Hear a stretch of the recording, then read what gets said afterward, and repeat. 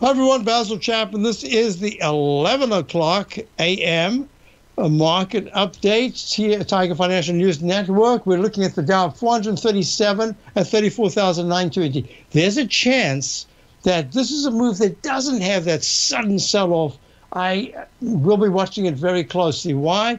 Because the Dow um, gave hints that it was so weak the other day when it rallied after the Friday uh, sharp decline and the Monday uh, rally that was very strong in the NDX 100, the QQQ.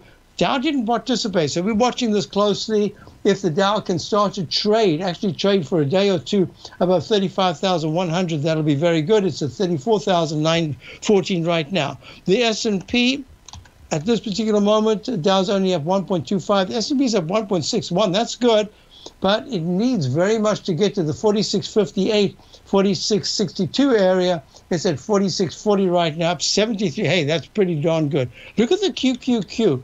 Um, it is up 1.30. It's kind of stalling a little bit because of that mix in the in the and the index 100. So the 398.94 level, that's good. If it's able to trade in the three, oops, in the 402 area in the next two days, that'll be a very good sign. SMHs and semiconductors are still very strong and kind of leading the way. The IWM had a really good rally early on, gapped up, and has held that move up 5.44 at 223. Look at gold.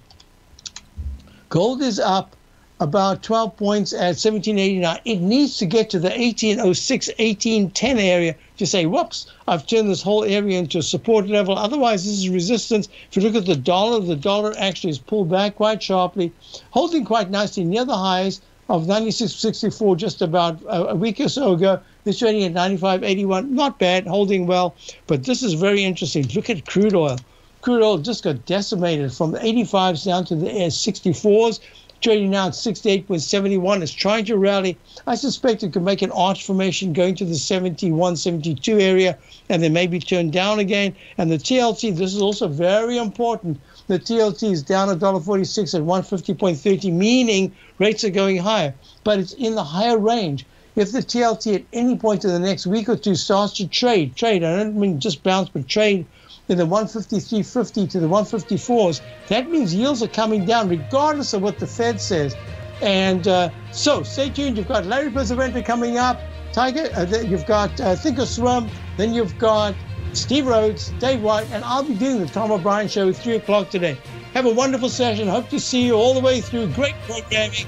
And Dow's our 439.